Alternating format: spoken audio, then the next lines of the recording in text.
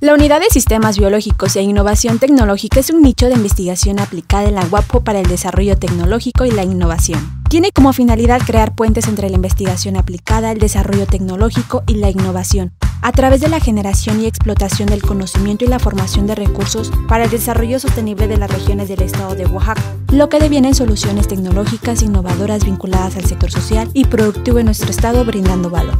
Te invitamos a que nos conozcas y te formes con nosotros en nuestra licenciatura en Biología y nuestra primera licenciatura en Ingeniería e Innovación Tecnológica. Por una universidad para todas y todos, ciencia, arte, libertad.